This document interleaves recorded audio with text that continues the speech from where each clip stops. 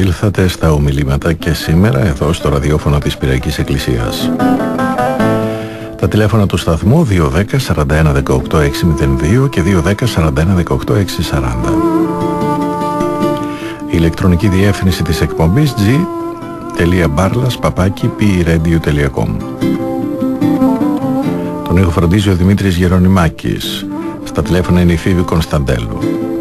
Κοντά μας και οι εκδόσεις Γρηγόρης, σοβαρή και υπεύθυνη παρουσία στο χώρο του βιβλίου. 210-36-37-011 το τηλέφωνο των εκδόσεων και το βιβλιοπωλείο στην οδό Σόλωνος 71 στο κέντρο της Αθήνας. Μια τελευταία εκπομπή σήμερα με το βιβλίο του Χαράλα Μπουάνα Δραλή «Νεομάρτυρες της Ορθοδοξίας» στον 20ο και 21ο αιώνα από τις εκδόσεις Γρηγόρη. Μάλιστα ετοιμάζεται και δεύτερος τόμος ε, με νεομάρτυρες της Ορθοδοξίας στον 20ο αιώνα. Θα κυκλοφορήσει σε λίγες εβδομάδες. Είναι ενδιαφέρον ε, το βιβλίο, γι' αυτό και αφιερώσαμε τέσσερις εκπομπές σε αυτό. Γιατί μας δίνει το στίγμα αυτό της μαρτυρίας του Χριστού στον κόσμο πρωτίστως με τη θυσία της ίδιας της ζωής των ε, ανθρώπων αυτών αλλά μην ξεχνάμε ότι αφού στις μέρες μας δεν απαιτείται τέτοιο είδους μαρτύριο, προέχει η μαρτυρία ως ζωντανή παρουσία του χριστιανού μέσα στον κόσμο, μέσα από τον τρόπο ζωής, τη φύλαξη των εντολών του Θεού και κυρίως της αγάπης προς τον πλησίον.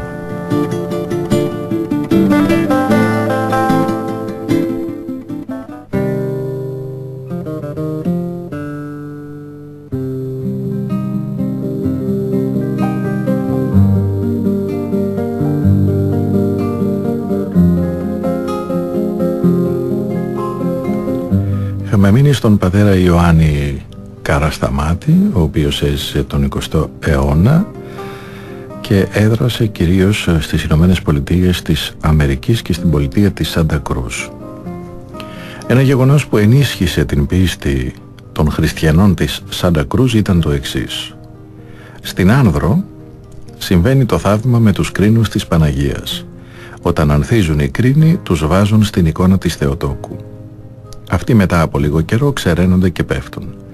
Οι ανδριώτες αφήνουν στην εικόνα τα ξερά κοτσάνια και στη γιορτή της κάθε χρόνο αυτά ανθίζουν και βγάζουν μπουμπούκια.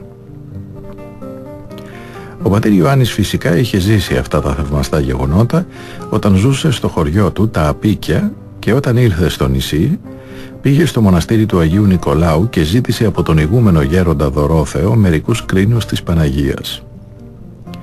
Ο γέροντας τον προμήθευσε ξερά κοτσάνια και ο πατήρ Ιωάννης τα πήρε μαζί του στην Αμερική, τα τοποθέτησε στην εικόνα της Παναγίας και οι κρίνοι άνθησαν.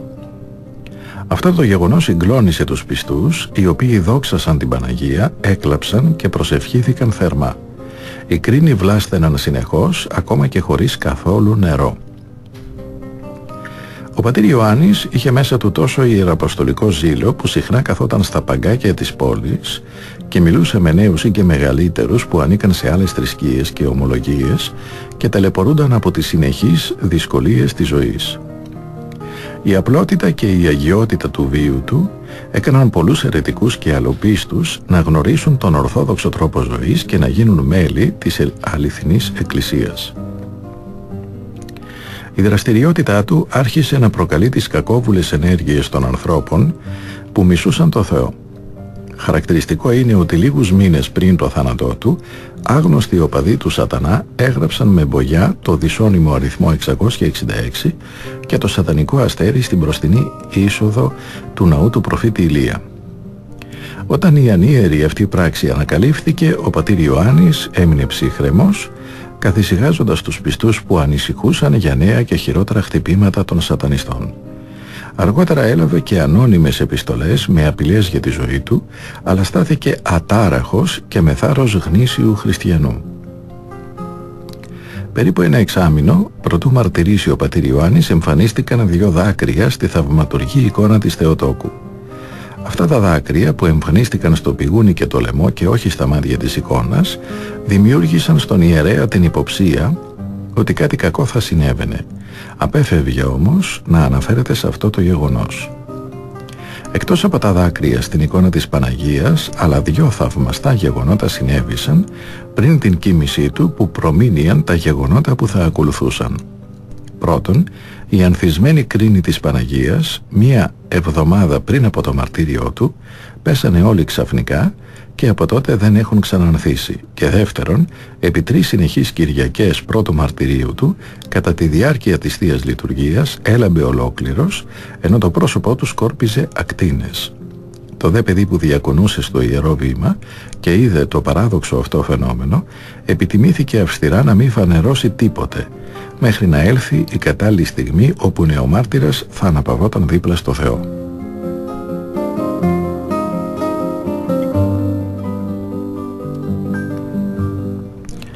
Στις 18 Μαΐου του 1985 ο αγαπητός των χριστιανών της Σάντα Κρούς φεύγει από την παρούσα ζωή και εισχωρεί ένδοξα στην αγκαλιά του δημιουργού του.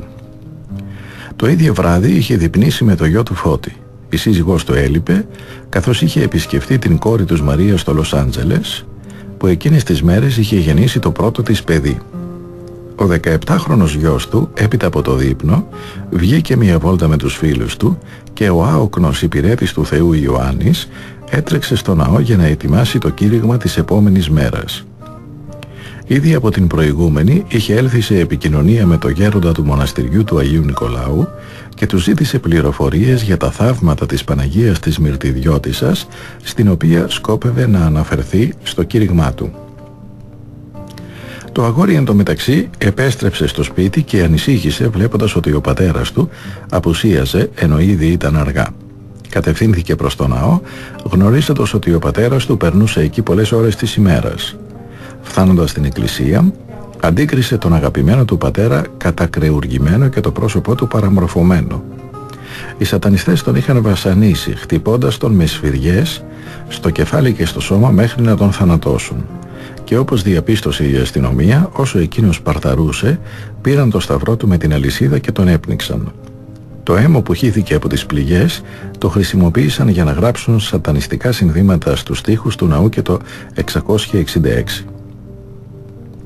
Η αστυνομία διεξήγαγε έρευνες για τη σύλληψη των δολοφόνων του. Στην έρευνά της δεν βρήκε κανένα σημάδι κλοπής στην εκκλησία, πράγμα που δείχνει ότι τα κίνητρα των δολοφόνων ήταν καθαρά θρησκευτικά συνελήφθησαν τρία άτομα, όλοι οι ιερείς του Σατανά. Όταν τους συνέλαβαν προσπάθησαν να αυτοκτονήσουν. Οι δυο από αυτούς πέθαναν, ενώ ο τρίτος έχασε τα λογικά του και δεν μπορούσε να συνεννοηθεί. Ένα χαρακτηριστικό θαυμαστό γεγονός που ακολούθησε μετά την κοίμηση του νεομάρτυρα ήταν το εξής. Το αίμα του πατρός Ιωάννη δεν έφευγε από το πάτωμα, οποιοδήποτε απορριπαντικό και καθαριστικό και αν χρησιμοποιήθηκε.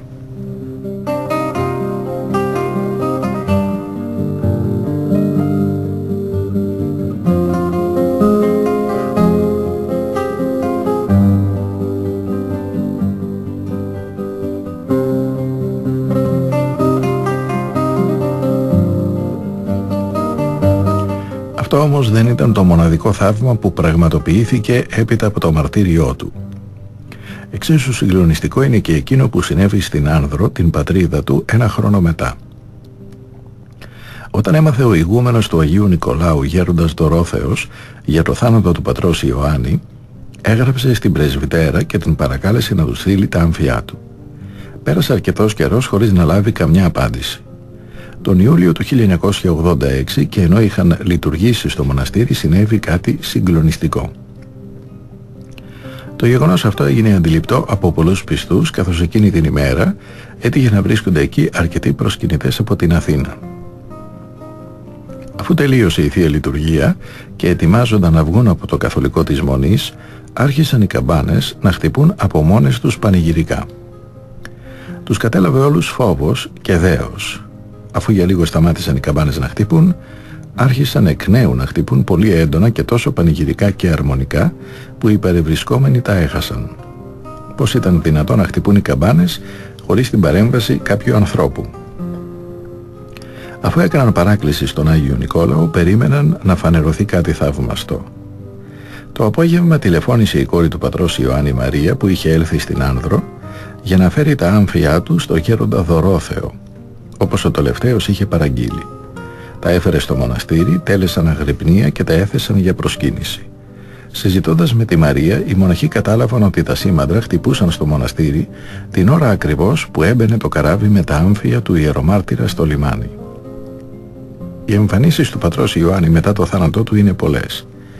Παραμονές του Αγίου Νικολάου του 1986, ο ηγούμενος ετοίμαζε το μοναστήρι με τη βοήθεια κάποιων γυναικών από το χωριό. Κάποια στιγμή είδαν τον ήδη μακαριστό πατέρα Ιωάννη να περπατά στην αυλή και να έρχεται προς το μέρος τους. Δέος μεγάλο τους κατέλαβε και έβαλαν τις φωνές προσπαθώντας να του μιλήσουν. Εκείνος πέρασε από δίπλα τους και σε λίγο χάθηκε από μπροστά τους. Ώσπου να συνέλθουν από την ταραχή ήρθε ο ταχυδρόμος και έφερε ένα δέμα από την Ελβετία το οποίο περιείχε την εικόνα του πατρός Ιωάννη αγιογραφημένη από κάποιους Ρώσους που τον τιμούσαν ήδη ως Άγιο. Το Φεβρουάριο του 1987 ο γέροντος Δωρόθεος, ο ηγούμενος της Ιεράς Μονής του Αγίου Νικολάου στην Άνδρο ήταν στην Ελβετία για να κάνει κάποια εγχείρηση. Μιλώντας εκεί με κάποιους πιστούς για το μαρτύριο του πατρός Ιωάννη, ξαφνικά είδαν όλοι για λίγο το μάρτυρα να τους ευλογεί. Στην τελευταία τους λειτουργία με το γέροντα, στην εορτή του Αγίου Δωροθέου, όπου ο πατήρ Ιωάννης εξομολογήθηκε, δόρισε στον πνευματικό του πατέρα Δωρόθεο το πετραχύλι του. Τεμάχιο αυτού στην Ελβετία, όπου το πήγε ο γέροντας, σκόρπιζε άρρητη ευωδία σε όλους τους παρευρισκομένους. Στην Ορθόδοξη Εκκλησία της Αμερικής και στη Ρωσική Εκκλησία της Διασποράς τιμάται ως Άγιος και έχει εκδοθεί ακολουθία προς τιμήν του. Η μνήμη του εορτάζεται στις 19 Μαΐου.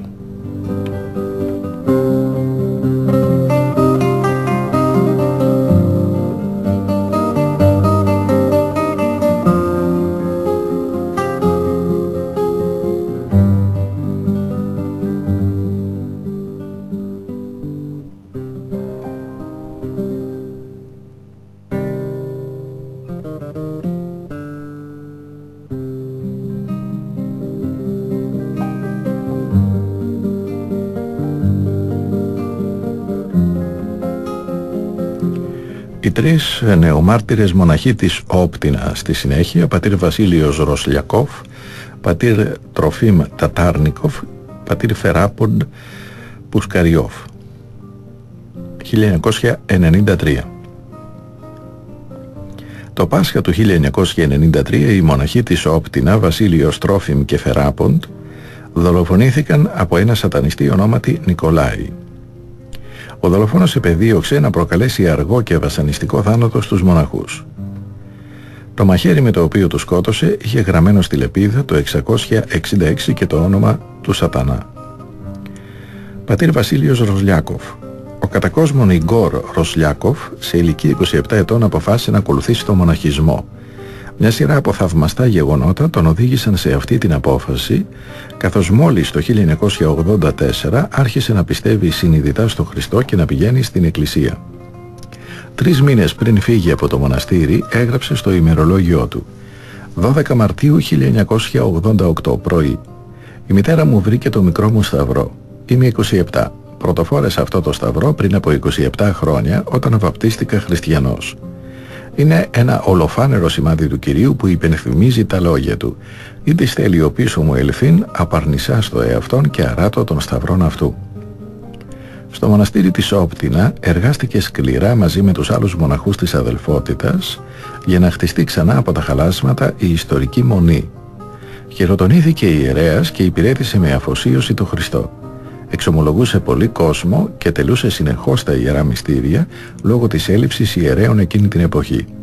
Ήταν άνθρωπος χαμηλών τόνων και βαθιά πνευματικός. Βοηθούσε πολύ τους συνανθρώπους του που αντιμετώπισαν προβλήματα. Με τη ζωή του έγινε περισσότερο μισητό στο διάβολο και εκείνος διέταξε τον υπηρέτη του να αφαιρέσει τη ζωή του. Πατήρ Τρόφιμος Τατάρνικοφ ο κατακόσμων Αλεξέη Τατάρνικοφ γεννήθηκε στις 4 Φεβρουαρίου του 1954. Έχοντας ισχυρή κλίση στο μοναχισμό εισήλθε τον Αύγουστο του 1990 στο υποανέγερση μοναστήρι της Όπτινα. Εκεί υπήρξε υπόδειγμα υπακοής και άσκησης. Όσοι τον γνώρισαν λένε για τον πατέρα Τρόφιμ ότι είχε καρδιά μικρού παιδιού. διακρινόταν από την ηρεμία και την πραότητα που επιδείκνυε ακόμα και στις δύσκολες στιγμές. Αγαπούσε θερμά όλο τον κόσμο. Δεχόταν αδιαμαρτύρητα τις τιμωρίες και προσπαθούσε να μαθαίνει από τα λάθη του. Ο εκτελεστής του τον μαχαίρωσε πισόπλατα την ώρα που χτυπούσε τις καμπάνες για την εορτή του Πάσχα.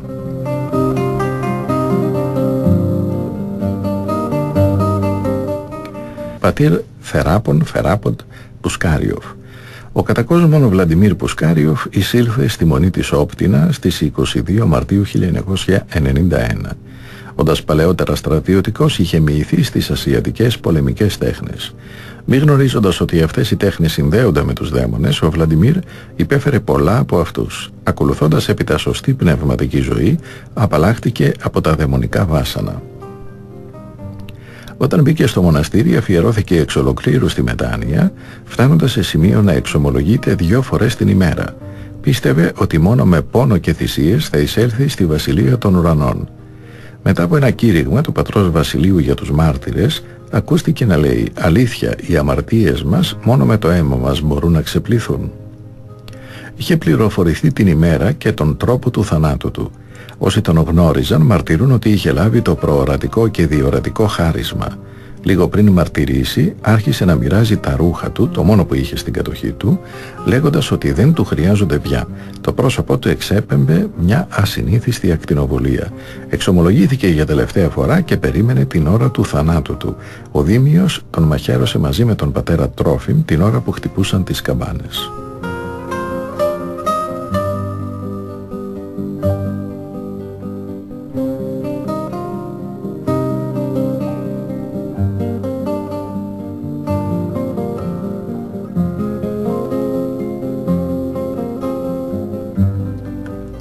Πατήρ Νέστορ Σάφτσουκ, 1993. Το 1960 στην Κρυμαία της Ουκρανίας, όπου διετέλεσε επίσκοπος ο Άγιος Λουκάς ο ιατρός, γεννήθηκε ο Νέστορ, ο μετέπειτα ιερομάρτης. Στη Σοβιετική Ένωση δεν δίνονταν εύκολα ευκαιρίες για την ανάπτυξη πνευματικών ενδιαφερόντων. Τι εύκολα. Εκεί αν είχες πνευματικά ενδιαφέροντα, δεν θα είχες ζωή σε λίγο. Έτσι ο Νέστορ μεγάλωνε σε ένα ηλιστικό περιβάλλον όπου ο Χριστός και η δασκαλία της Εκκλησίας εθεωρούνται ο ξεπερασμένος σκοταδισμός. Στο δρόμο του Θεού τον έφερε η αγάπη του για την τέχνη. Ασχολήθηκε με την αγιογραφία, γεγονός που του δημιούργησε συμπάθεια για τα ιερά εικονιζόμενα πρόσωπα. Μεγαλώνοντας, καλλιεργήθηκε μέσα του η επιθυμία να αφιερωθεί στον Κύριο. Στην απόφαση του αυτή, σπουδαίο ρόλο έπαιξε η συναναστροφή του με ευλαβή πρόσωπα του συγγενικού του περιβάλλοντος, τους δύο ιερείς θείους του. Σε νεαρή ηλικία μετέβη στη μονή του Ποτσάευ και ως μοναχός πλέον ξεκίνησε τον αγώνα του για την απόκτηση των θείων αρετών. Η εποχή εκείνη έκρυβε πολλές δυσκολίες για τους μοναχούς, πέρα από τις ασκήσεις που οι ίδιοι επέβαλαν στους εαυτούς τους. Το καθεστώς εξανάγκασε τους καλογύρους να εγγραφούν στο κόμμα, ενώ σε αντίθετη περίπτωση διώκονταν ως αντιφρονούντες και επικίνδυνοι. Οι μοναχοί αντιστάθηκαν και έτσι ξεκίνησε μια συστηματική πολεμική πολιτική από τους κρατούντες. Ο Νέστορ χειροτονήθηκε γρήγορα ιερέας και έφυγε για το χωριό Ζάρκι έπειτα από παρένεση του πνευματικού του. Σε αυτό το δύσβατο τόπο ανέλαβε τα ποιηματικά του καθήκοντα θέτοντας εξ αρχής το σκοπό να αναθερμάνει την πίστη του ταλαιπωρημένου λαού. Οι δοκιμασίες και οι θλίψεις δεν έλειψαν και στη νέα του διακονία. Κάποιοι από τους ντόπιους νέους έβλεπαν πολύ αρνητικά την παρουσία του ιερέα στο χωριό τους. Οι χλεβασμοί και οι ηρωνίες ήταν καθημερινό φαινόμενο, ενώ συχνές ήταν οι απειλές και οι προπυλακισμοί εναντίον του. Ο πατήρ Νέστορ δεχόταν τις δυσκολίες δοξολογώντας το Θεό και συγχωρώντας εκείνους που τον αδικούσαν. Αυτή η ανεξίκακη συμπεριφορά τους συγκίνησε έναν από αυτούς τους νέους, τον Ανδρέα, ο οποίος επηρεαζόμενος από την αγιασμένη μορφή του ιερέα, τον ακολούθησε και έκτοτε έζησε χριστιανική ζωή. Η ιεραποστολική φλόγα έκαιγε στην καρδιά του, κάτι που τον οδηγούσε συχνά εκτός του χωριού Ζάρκη για να διδάξει το Ευαγγέλιο και σε άλλες περιοχές έφτασε μέχρι τη Γεωργία κηρύσσοντας και προσφέροντας παρηγοριά σε ανθρώπους που είχαν χάσει το πραγματικό νόημα της ζωής. Επιστρέφοντας στη Ρωσία βρέθηκε αντιμέτωπος με νέα προβλήματα. Στην περιοχή δρούσαν συμμορίες ληστών που δεν άργησαν να βάλουν στόχο τις μεγάλης αξίας αρχαίες εικόνες του ναού στο Ζάρκι. Παρά τον προφανή κίνδυνο της ίδιας του της ζωής, ο πατήρ Νέστορ δεν ήθελε να αφήσει τους ληστές να κλέψουν τις ιερές εικόνες οι οποίες είχαν γίνει κάποτε αφορμή να γνωρίσει και να αγαπήσει τον Χριστό και την Εκκλησία. Σαν άγρυπνος φρουρός φύλαγε το ναό για να προστατέψει τις εικόνες. Μαθαίνοντας για τη δολοφονία των τριών μοναχών της Όπτινα το Πάσχα του 1993, δημιουργήθηκε μέσα του ο πόθος για το στεφάνι του μαρτυρίου. Σε πολλές συζητήσεις άφηνε να εννοηθεί ότι περίμενε με χαρά και ανυπομονησία τη στιγμή του μαρτυρίου, θεωρώντας αυτό σαν μια μικρή μόνο ανταπόδοση στο Χριστό που τόσα υπέφερε για μας. Έτσι παρά τις συνεχείς απόπειρες ιεροσιλίας του ναού από τους συμμορίτες και αποτυχημένες προσπάθειες δολοφονίας του ιερέα, εκείνος εξακολουθούσε να βρίσκεται στο ναό για να προστατεύσει τον οίκο του Θεού. Η ποιμαντική δράση του πατρός Νέστορα ενοχλούσε τους εχθρούς της πίστης, οι οποίοι προσπαθούσαν με κάθε τρόπο να τον κάνουν να υποφέρει. Εκείνος όμως εξακολουθούσε να ευχαριστεί το Θεό, αντιμετωπίζοντας αυτές τις πνευματικές ευκαιρίες με χαρά και υπομονή. Να υποφέρεις για τον Χριστό. Αυτή είναι η μεγάλη χαρά, έλεγε συχνά ο ιερέας στα πνευματικά του παιδιά. Στις 31 Δεκεμβρίου του 1993 ο πατήρ Νέστορ βρέθηκε κατακρεουργημένος έξω από το παράθυρο του σπιτιού του. Οι εκτελεστές του κατάφεραν πολλές μαχαιριές και του έκοψαν το λαιμό. Αυτή η άγρια δολοφονία είχε ως αιτία τη βροντερή ιερατική παρουσία του πατρός Νέστορα. Με τη θυσία του, ο ανυποχώρητος κληρικός εισήλθε στη χωρία των μαρτύρων. Δύο διαχριστών σαλί που μαρτύρησαν στο παρελθόν σε αυτή την εκκλησία, λίγο πριν εκτελεστούν, εξτόμησαν αυτή την προφητεία. Ο ιερέας που θα υπηρετήσει εδώ μέχρι το τέλος θα σωθεί. Αυτή η προφητεία επαληθεύθηκε στο νεομάρτυρα Νέστορα.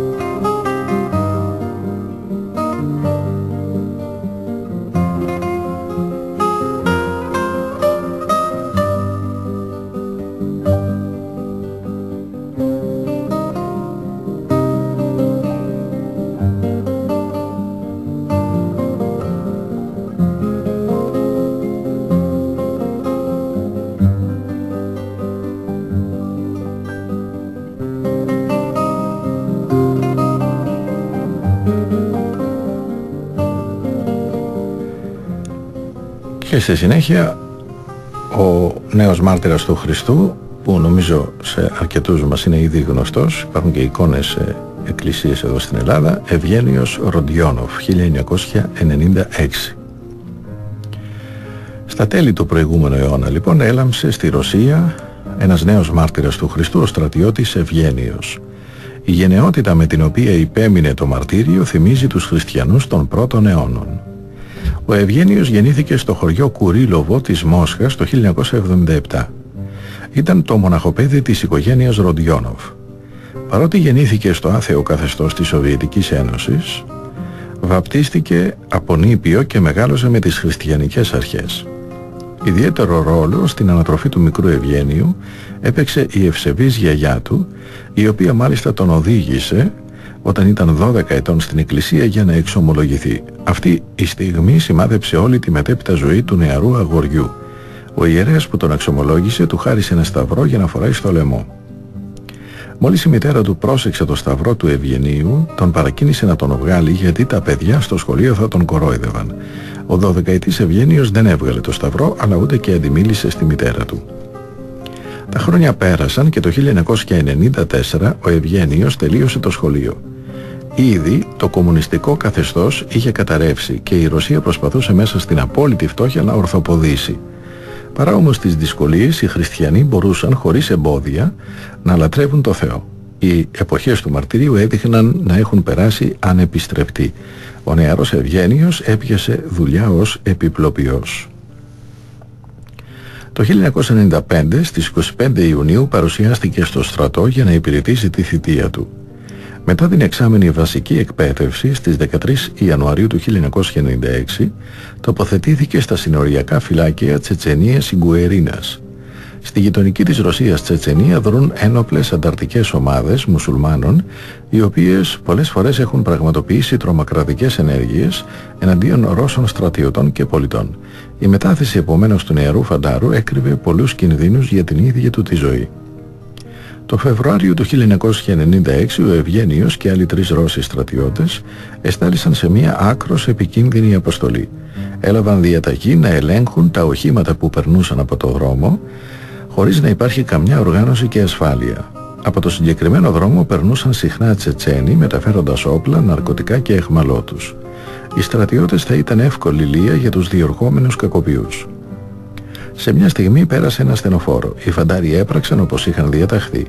Σταμάτησαν το όχημα για έλεγχο. Ξαφνικά όμως πετάχτηκαν μέσα από το στενοφόρο οπλισμένοι τσετσένοι κακοποιοί και ακινητοποίησαν τους Ρώσους στρατιώτες. Κατά αυτόν τον τρόπο ο Ευγένιος και οι άλλοι φαντάροι εχμαλωτίστηκαν από τους ε, Τσετσένους Ισλαμιστές. Όταν ήρθαν οι άλλοι στρατιώτες για αλλαγή της φρουράς διαπίστωσαν ότι η προηγούμενη βάρδια είχε εξαφανιστεί. Μετά από λίγες μέρες η υπηρεσία του στρατού ενημέρωσε τους γονείς των στρατιωτών για την εξαφάνισή τους. Οι Τσετσένοι συνήθιζαν να κρατούν αιχμαλώτους και να τους ελευθερώνουν αφού λάβουν λίτρα. Η μητέρα του Ευγένιου, Λιούμποφ, πήγε στη Τσετσενία για να διαπραγματευτεί με τους αυτονομιστές.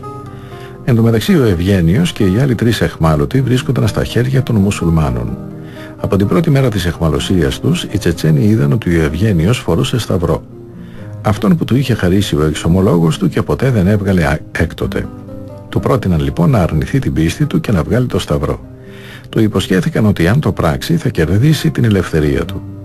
Ο Ευγένιος αρνήθηκε. Ακολούθησαν βασανιστήρια και συνεχείς παρενέσεις να βγάλει το σταυρό. Επί 100 ημέρες που διήρκησε η εχμαλωσία, οι Ισλαμιστές προσπαθούσαν μάταια να κάμψουν το παλικάρι του Χριστού. Στις 23 Μαΐου, όταν ο Ευγένιος γινόταν 19 ετών ημέρα των γενεθλίων του, ο Θεός τον τίμησε με το στεφάνι του μάρτυρα. Οι Τσετσένοι, αφού σκότωσαν τους άλλους εχμαλώτους, πρότειναν στον Ευγένιο για τελευταία φορά να αρνηθεί το Χριστό και να βγάλει το σταυρό του. Εκείνος και πάλι δεν δέχτηκε. Προτίμησε να πεθάνει παρά να προδώσει το Χριστό. Οργισμένοι οι βασανιστές του τον χτυπούσαν και τον περιέπεσαν. Εκείνος παρότι γνώριζε τι έμελε να συμβεί, αντιμετώπισε με ηρεμία το μαρτύριο. Ο Δήμιος τον τραβούσε με μανία και με ένα μαχαίρι του έκοψε αργά και βασανιστικά το κεφάλι. Στο μαγνητοσκοπημένο βίντεο που αργότερα έδωσαν οι Τσετσένοι στη μητέρα του φαίνεται με πόση ηρεμία υπέμεινε ο Άγιος Ευγένιος στο τελειωτικό χτύπημα. Σαν πρόβατο σκυμμένο τον αποκεφάλισε ο Δήμιος και σαν πρόβατο κάθισε στα δεξιά του Χριστού δίπλα στους Αγίους και πρεσβεύει για τη σωτηρία των ψυχών μας. Μετά τον αποκεφαλισμό του, η μητέρα του ζήτησε από τους δολοφόνους το νεκρό σώμα του γιού της. Εκείνοι ζήτησαν χρήματα και αφού η γυναίκα πούλησε σχεδόν όλα της τα υπάρχοντα, μάζεψε ένα χρηματικό ποσό και πήρε το άψυχο σώμα του Ευγένιου εννέα μήνες μετά τη δολοφονία.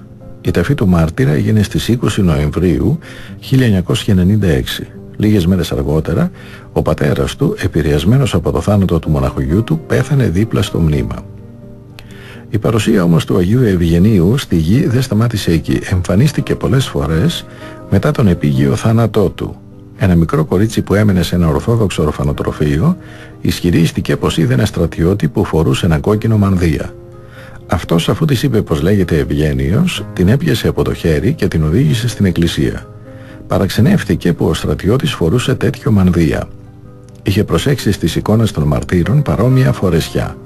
Τότε κατάλαβε ότι δεν πρόκειται για ένα συνηθισμένο στρατιώτη, αλλά για έναν Άγιο Μάρτυρα του Χριστού. Ήταν πράγματι ο Ευγένιος.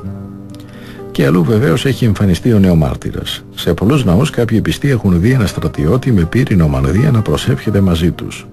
Σε ένα νοσοκομείο τραυματιών πολέμου, οι τραυματισμένοι στρατιώτες ισχυρίζονται ότι εμφανίζεται κάποιος νεαρός με το όνομα Ευγένιος και τους βοηθάει, ειδικά όταν πονάνε πολύ. Όταν κάποιοι από αυτούς επισκέφθηκαν το ναό τους Σωτήρος Χριστούς στη Μόσχα, είδαν την εικόνα του Ευγενίου και αναγνώρισαν εκείνον που τους βοηθούσε και τους απάλυνε τους πόνους. Αλλά και κάποιοι φυλακισμένοι έχουν δει το μάρτυρα ο οποίος παρηγορεί τους πολύ καταβεβλημένους και συντετριμένους ψυχικά λόγω της φυλακίσεώς τους. Ένα χρόνο μετά την κίνηση του νεομάρτυρα, το 1997, εκδόθηκε ένα βιβλίο με τίτλο «Νέος μάρτης του Χριστού στρατιώτης Ευγένιος». Σύντομα, ένας ιερέας που προμηθεύτηκε αυτό το βιβλίο έστειλε στο Πατριαρχείο μια αναφορά όπου έγραφε ότι το εξώφυλλο του βιβλίου με τη φωτογραφία του μάρτυρα μυροβλίζει. Στη Ρωσία τιμάται ιδιαίτερα ο νεομάρτυρας Ευγένιος, μάλιστα έχει αφιερωθεί ένας ναός στο όνομά του και έχουν εκδοθεί ακολουθίες προς τιμήν του. Αλλά αυτοί που τον ευλαβούνται περισσότερο είναι οι Ρώσοι φαντάροι, οι οποίοι επικαλούνται συχνά τη βοήθειά του.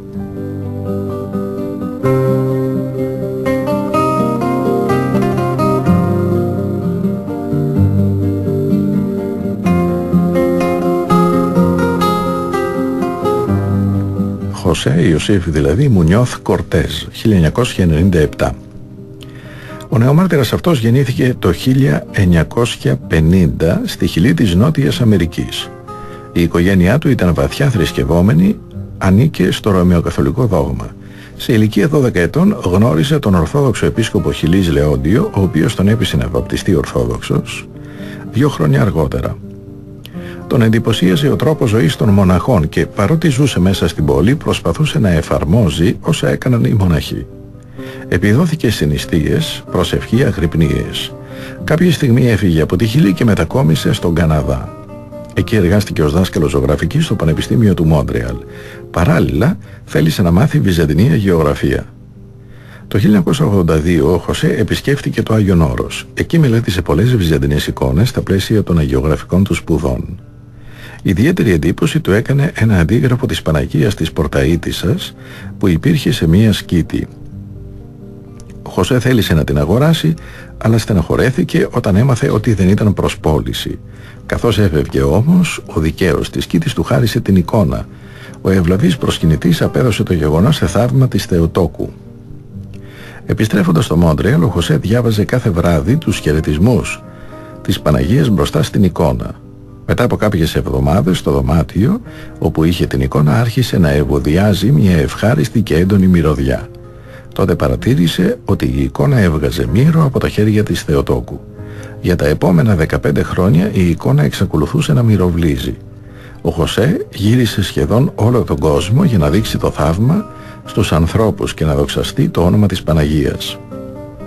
Στις 31 Οκτωβρίου 1997 και ενώ βρισκόταν στην Αθήνα για να παρουσιάσει τη μυροβλίουσα εικόνα, δολοφονήθηκε από σατανιστές αφού πρώτα βασανίστηκε φρικαλέα μέσα στο δωμάτιο του ξενοδοχείου όπου διέμενε. Οι εχθροί της πίστης δεν άντεχαν να τον βλέπουν να βροντοφωνάζει σε όλο τον κόσμο το θαύμα δοξάζοντας τον Χριστό και την Παναγία.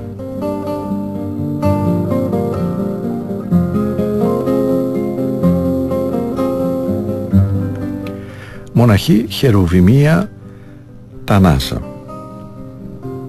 η νεομάρτης Χεροβημία από τη Ρωμανία γνώρισε ένα επίπονο μαρτύριο που κράτησε αρκετό καιρό μέχρι να παραδώσει την ψυχή της στο Θεό το 1998. Η κατακόσμων Σβετλάνα Μιχαέλα Τανάσα είχε σπουδάσει αρχαία ελληνικά και λατινικά, φτάνοντας σε σημείο να γνωρίζει άπτεστα αυτές τις γλώσσες. Για το λόγο αυτό πήρε υποτροφία για να κάνει μάστερ στο Κεντρικό Ευρωπαϊκό Πανεπιστήμιο της Βουδαπέστης στη γειτονική της Ουγγαρία. Εκεί της ανατέθηκε ως εργασία να ερευνήσει ένα χειρόγραφο της ερμηνείας στη γέννηση του Αγίου Ιωάννου του Χρυσοστόμου.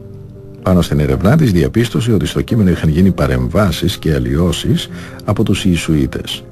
Έτσι συμπέρανε ότι θα ήταν απαραίτητη μια κριτική έκδοση της ερμηνείας της γέννησης η οποία θα αποδείκνυε τις αυθαίρετες προσθήκες των Ιησουητών. Η εξαιρετική αυτή δουλειά της σπουδάστριας εκτιμήθηκε από τους καθηγητές. Της πρότειναν λοιπόν να προχωρήσει και σε διδακτορική διατριβή. Η Σβετλάνα δέχτηκε την πρόταση και ξεκίνησε να ασχολείται με τη διατριβή της που είχε ως κεντρικό άξονα την ερμηνεία της γενέσεως. Οι καθηγητές της έθεσαν ως στόχο να αποδείξει ότι οι Άγιοι Πατέρες στηρίχθηκαν στις ερμηνείες τους περί γενέσεως στον ερετικό φιλόσοφο Οργένη. Χωρίς να γνωρίζει πολλά περί του θέματος, η σπουδάστρια επιδόθηκε με ζήλο στην εργασία της, καθώς όμως μελετούσε τις πηγές της, καταλάβαινε ότι όχι μόνο οι πατέρες δεν στηρίχθηκαν στον Οριγένη, αλλά τα όσα έγραψαν σκοπό είχαν να καταπολεμήσουν τις οριγενικές θεωρίες. Ο Οριγένης ήταν σπουδαίος θεολόγος, αλλά κάπου τα χάλασε και άρχισε να υποστηρίζει τη θεωρία περί αποκατάστασης των πάντων, γι' αυτό και η Εκκλησία τον καταδίκασε πάντως ήταν σπουδαίο μυαλό. Αργότερα η Σβετλάνα έμαθε ότι οι πιο πολλοί από τους καθηγητές που την παρένεσαν να αποδείξει αυτά τα ψεύδη ήταν Εβραίοι, ενώ διαπίστωνε καθώς περνούσε ο καιρός την περιφρόνηση που είχαν για την Ορθοδοξία. Η σπουδάστρια αρνήθηκε να ενδώσει σε αυτά που τη ζήτησαν. Έτσι όταν έφτασε ο καιρός να παρουσιάσει τη διατριβή της, τους απέδειξε τα ακριβώς αντίθετα από όσα της είχαν αναθέσει. Οι καθηγητές την επέπληξαν και τη ζήτησαν να επαναλάβει τη διατριβή. Της παρουσίασαν δε το επιχείρημα ότι την πληρώνουν για να αποδείξει συγκεκριμένα πράγματα και εκείνη δεν μπορούσε να πράττει αυθαίρετα. Η Σβετλάνα αρνήθηκε να ενδώσει και να παρουσιάσει αιρετικές θέσεις. Η ίδια είχε βαθιά πίστη και ευλάβεια και ως εκ τούτου δεν ήταν διαθέσιμη να παρερμηνεύσει τα πατερικά κείμενα. Μετά από κάποιο χρονικό διάστημα γύρισε στη Ρουμανία. Εκεί ένιωσε έντονους πόνους και επισκέφθηκε γιατρό για να την εξετάσει. Ο γιατρός διέγνωσε καρκίνο του δέρματος με εκτεταμένη εξάπλωση στην αριστερή ομοπλάτη. Αυτό ήταν αποτέλεσμα μεγάλης ακτινοβολίας την οποία η Σβετλάνα δέχτηκε επισκοπού. Συγκεκριμένα τοποθετήθηκε σε σημείο όπου περνούσε πολλές ώρες πομπός δέσμης ακτινοβολίας με σκοπό να δημιουργήσει καρκινώματα στο δέρμα της. Αφού λοιπόν ο γιατρός της έδωσε λίγους μήνες ζωής, εκείνη επέστρεψε στη Βουδαπέστη για να πάρει τα πράγματά της και να εγκατασταθεί μόνιμα στη Ρουμανία ώστε να περάσει τις τελευταίες στιγμές της εδώ ζωής της. Στην Ουγγαρία οι καθηγητές την παρένεσαν να μην φύγει λέγοντάς της ότι έχουν λύσει στο πρόβλημά της. Με άλλα λόγια την εκβίασαν να μείνει μαζί τους και να γράψει όσα τη ζητούσαν, αλλιώς θα έβρισκε αργό και βασανιστικό θάνατο από τον καρκίνο. Εκείνη χωρίς να το σκεφτεί γύρισε στη Ρουμανία έτοιμη να αντιμετωπίσει τους πόνους και το θάνατο. Στη Ρουμανία βρήκε τον πατέρα Ιουστίνου Πύρβου, ο οποίος είχε αναδειχθεί μεγάλος ομολογητής της πίστεως κατά τα χρόνια της κρατικής αθείας. Εκείνος αφού άκουσε την ιστορία της, της πρότεινε να μείνει στο μοναστήρι των Παμεγής των Ταξιαρχών και να καρεί μοναχή. Έτσι και έγινε. Εκάρει το 1997 και έλαβε το όνομα Χερουβημία. Κατά τη διάρκεια των φρικτών πόνων, εκείνη προσευχόταν και δεν δεχόταν να πάρει μορφήνη για να καταπραίνει τον πόνο. Με αυτόν τον τρόπο έλεγε η ίδια ότι ξεχρεώνει τις αμαρτίες της. Μετά από 1,5 χρόνο πόνο, η Μάρτης κοιμήθηκε τη νύχτα της 7ης προς την 8η Νοεμβρίου του 1998. Μόλις είχε τελειώσει η πανηγυρική αγρυπνία για τους παμεγείς ταξιάρχες. Ο Θεός εισάκουσε την προσευχή της και πρόλαβε την πανήγυρη πριν κοιμηθεί.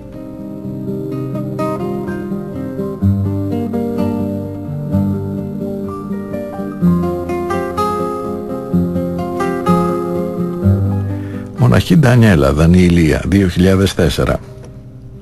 Οι περισσότεροι γονείς δεν θέλουν τα παιδιά τους να ακολουθήσουν το μοναχισμό. Αυτό δυστυχώς συμβαίνει ακόμα και σε ευσεβείς οικογένειες όταν κάποιο από τα παιδιά έχει την κλίση από το Θεό να γίνει μοναχός ή μοναχή. Η ιστορία της Ντανιέλας από το Βουκουρέστι, μιας χώρας της Ρουμανίας που είναι μάλιστα ορθόδοξη, είναι ιδιαίτερος διδακτική. Η Ντανέλα γεννήθηκε το 1967 στη Ρουμανία. Από μικρή αγάπησε τον Χριστό και την Εκκλησία παρά τις έντονες αντιρρήσεις του πατέρα της. Μετά το σχολείο περνούσε από το ναό ενώ επιστρέφοντας στο σπίτι είχε να αντιμετωπίσει τις φωνές και τις απειλές του. Εκείνη τα αντιμετώπιζε όλα χωρίς λόγια αλλά με υπομονή. Πάντως και μέσα στο σπίτι επιδιδόταν για πολλές ώρες σε προσευχή βλέποντας τον Χριστό ως το μοναδικό καταφύγιο στο μαρτύριο που ζούσε καθημερινά. Είχε πράο χαρακτήρα και αγάπη για όλο τον κόσμο. Βοηθούσε τους συμμαθητές της, αναλαμβάνοντας ακόμη και να κάνει τις εργασίες τους. Ήταν άριστη μαθήτρια και πολύ εργατική. Παρά την ανάμειξή της με τον κόσμο, δεν έπαψε να έχει ως μοναδικό της μέλημα την πνευματική ζωή. Γι' αυτό και απέφευγε τις κοσμικές συναθρήσεις που οργάνωναν τα παιδιά της ηλικίας της. Αργότερα, όταν ήταν φοιτήτρια, ανέλαβε την περιποίηση μιας φτωχής παράλυτης και ολομόναχης γυναίκας της κυρίας Ιωάννας. Η Ντανιέλα στάθηκε για εκείνη τη γυναίκα σαν πραγματικό της παιδί, ενώ οι φυσικοί της συγγενείς την είχαν ξεχάσει. Πήγαινε καθημερινά να την επισκεφθεί και να τη βοηθήσει παραβλέποντας τη μεγάλη απόσταση που είχε να διανύσει καθώς η κυρία Ιωάννα έμενε μακριά από το σπίτι της. Κατά αυτόν τον τρόπο η νεαρή κοπέλα έκανε πράξη την εντολή του Χριστού για αγάπη και ελεημοσύνη. Η αγιότητα της Ντανιέλας γίνεται ολοφάνερη και από την αντίδρασή της σε ένα ατυχές περιστατικό. Συγκεκριμένα κάποιος την είδε στο δρόμο και τη χτύπησε άδικα και χωρίς αφορμή. Εκείνη όχι μόνο υπέμεινε με σιωπή τον άνανδρο ξυλοδαρμό της, αλλά φίλησε και τα πόδια του ανθρώπου αυτού, θεωρώντας τον ως ευεργέτη, ο οποίος κατά αυτόν τον τρόπο της ξεχρεώνει τις αμαρτίες. Σε όλο της το βίο δεν κατηγόρησε κανέναν παρά μόνο τον εαυτό της. Εν τω μεταξύ στο σπίτι της εξακολουθούσε να ζει το μαρτύριο καθώς οι κοροϊδίες από τα μέλη της οικογένειάς της και οι προσπάθειες να την πείσουν να αλλάξει τρόπο ζωής διαρκώς αυξάνονταν συνεχώς την προκαλούσαν, βλασφημώντας το Θεό και λέγοντάς της ότι εκείνος δεν της έχει προσφέρει τίποτα. Την παρότρινα να αφήσει τους παπάδες και να γίνει φυσιολογικός άνθρωπος. Προσπάθησαν ακόμη και να την παντρέψουν παρότι η ίδια είχε προφανή κλίση στο μοναχισμό. Της έλεγαν ότι με το να παντρευτεί και να κάνει οικογένεια δεν αφήνει το Χριστό. Όμως εκείνη ήθελε να αφιερωθεί ολοκληρωτικά στο Θεό και να λάβει το αγγελικό σχήμα. Στους δικούς της βέβαια φαινόταν αδιανόητο αυτό. Γιατί σπούδασε ενώ είχε σκοπό να γίνει καλόγρια; Όταν τελείωσε τις σπουδές της έφυγε κρυφά από το σπίτι της και πήγε στο μοναστήρι.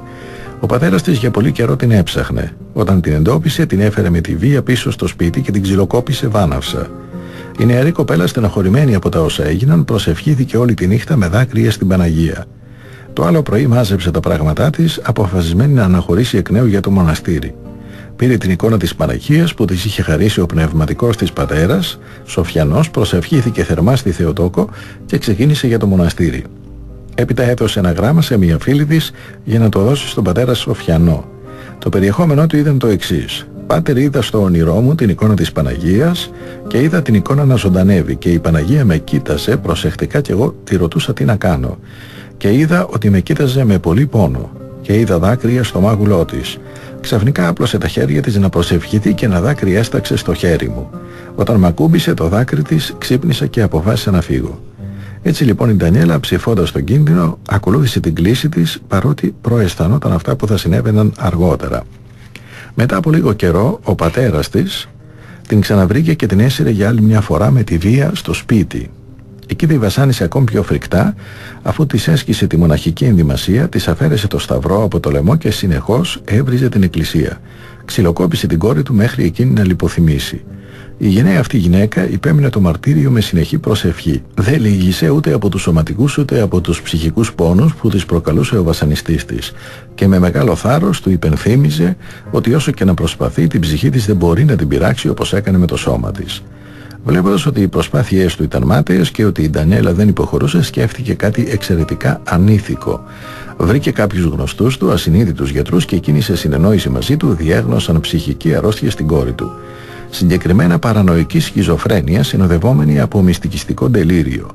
Μέχρι το τέλος της εδώ ζωής της την υποχρέωναν να παίρνει ψυχοφάρμακα για να ξεχνάει αυτόν που τόσο πολύ αγάπησε. Τα δύο τελευταία χρόνια της τα πέρασε στο νοσοκομείο με σωληνάρια στη μύτη, από τα οποία διοχετεύονταν στον οργανισμό της ηρεμιστικά φάρμακα που επιβάρυναν συνεχώς την υγεία της. Ήταν διαρκώς υπό την επίρρεια των ηρεμιστικών και ως εκ τούτου δεν μπορούσε να χρησιμοποιήσει τις αισθήσεις της.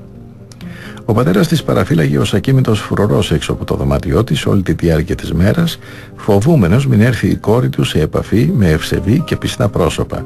Η ακινησία της στο κρεβάτι και τα φάρμακα που της έδινε ο ψυχίατρος της προκάλεσαν παράλυση και απόφραξη του αυλού του εντέρου. Έτσι, βασανισμένη παρέδωσε την Αγία Ψυχή της την 3η 6 Απριλίου 2004, τη Μεγάλη Εβδομάδα. Η Οσιομάρτης κοιμήθηκε περίπου στις 10 το βράδυ. Επειδή ο πατέρας της δεν θα δεχόταν να έρθει η ιερέας να τελέσει την επικίδιο ακολουθία, κατά θαυμαστό τρόπο έμαθε για την κίνησή της ένας γνωστός της ιερέας, ο πατρί Κωνσταντίνος, και μια ώρα μετά κατά τις 11 το βράδυ τέλεσε την ακολουθία εις και κοιμημένους, ενώ ο πατέρας της για πρώτη φορά έλειπε, αν και προηγουμένως τον είχαν δει στο νοσοκομείο. Μετά την κοιμησή της άρχισαν να γίνονται θαύματα πάνω στον τάφο της, στο κημητήριο Αντρονάκε στο Βουκουρέστι. Στις 12 Μαΐου 2004 ένας νέος που έπασχε επί 8 χρόνια από την ίδια ασθένεια από την οποία κατέληξε η Μάρτης θεραπεύθηκε πάνω στον τάφο της. Την ίδια χρονιά ένας φοιτητής θεραπεύθηκε από μια σοβαρή νόσο στα Αγγεία και ένας άλλος νέος από κρίση σκολικοειδίτιδας το 2005 στον τάφο της Ντανιέλας. Πραγματικά είναι άξια θαυμασμού το θάρρος, η υπομονή και η επιμονή αυτής της γυναίκας της εποχής μας που ο ίδιος της ο πατέρας προτίμησε να τη δει νεκρή παρά δίπλα στο Θεό. Εκείνη όμως προτίμησε να είναι νεκρή κατά τον κόσμο παρά μακριά από τον ζωοδότη Χριστό. Και το μαρτύριό της ήταν αργό και βασανιστικό. Κράτησε πολύ καιρό και είχε τη βοήθεια της επιστήμης. Χαρακτηρίστηκε ψυχικά ασθενής επειδή αγαπούσε το Θεό. Αυτή είναι η παραφροσύνη της σημερινής κοινωνίας. Ας μην ξεχνάμε τα προφητικά λόγια του Αγίου Αντωνίου. Έρχεται καιρός είναι οι άνθρωποι μανώσει και επάν είδωση την μη μενόμενων επαναστατήσονται. Αυτό λέγοντες ότι σύ μένει ότι η διατομή είναι όμοιον αυτής ότι τρελάθηκε δηλαδή ο άνθρωπος ο οποίος είναι φυσιολογικός ακριβώς γιατί δεν είναι όμοιος με τους υπόλοιπους. Εδώ θα τελειώσουμε και τη σημερινή μας εκπομπή. Βλέπουμε ότι σε όλα τα επεισόδια που διαβάσαμε γίνεται μια μάχη του Θεού και του Σατανά του Θεού και των εκπροσώπων του εδώ στη γη, των Αγίων, των νεομαρτύρων και του Σατανά και των ανθρώπων του. Όπως είναι όλο το Ευαγγέλιο μια μάχη του Χριστού εναντίον του Σατανά. Νικητής είναι ο Χριστός, αλλά υπάρχουν και πολλοί άνθρωποι οι οποίοι δυστυχώς συνεργάζονται με τον Σατανά και έτσι απομακρύνονται από το φως του Χριστού και χάνουν την ε, ζωή τους. Και αυτήν εδώ και τη μέλουσα. Και αυτήν εδώ με την έννοια ότι η ζωή που είναι δοσμένη στο σατανά και αυτή εδώ η επίγεια ζωή είναι ε, μια ζωή που χαραμίζεται γιατί άλλα ήθελε ο Θεός όταν δημιούργησε τον άνθρωπο και όχι το κατάντημα του ανθρώπου όταν παραδίνεται στην αμαρτία και στον διάβολο. Χαράλαμπος Άνδραλης, νεομάρτυρες της Ορθοδοξίας, εκδόσεις Γρηγόρη, διαβάσαμε σχεδόν όλο το βιβλίο σε τέσσερις εκπομπές. Υπάρχουν και κάποιοι ακόμη νεομάρτυρες που δεν προλάβουμε να διαβάσουμε. Ένα πραγματικά πολύ ενδιαφέρον βιβλίο που ελπίζω να μας τόνωσε την πίστη και την ε, πεποίθηση για την ύπαρξη του Θεού και την ανάγκη να συμμαχούμε μαζί Του.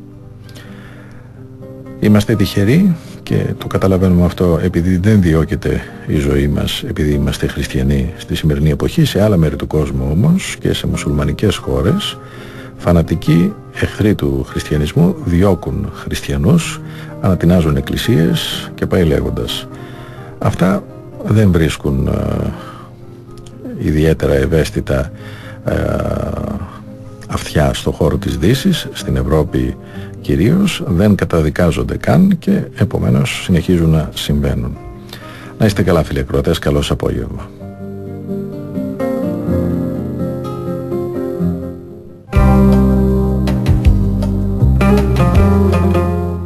Ομιλήματα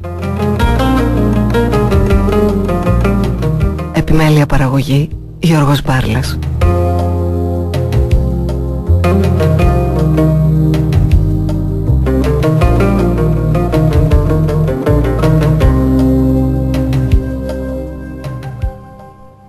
Η εκπομπή που προηγήθηκε μεταδόθηκε με την ευγενική χορηγία των εκδόσεων Γρηγόρη.